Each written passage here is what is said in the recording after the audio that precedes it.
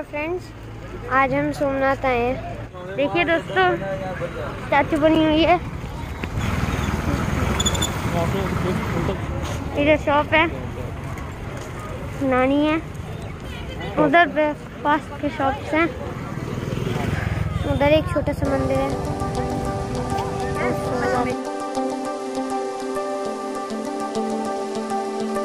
मैंने सोमनाथ दिखाया इसको लाइक शेयर सब्सक्राइब कर देना।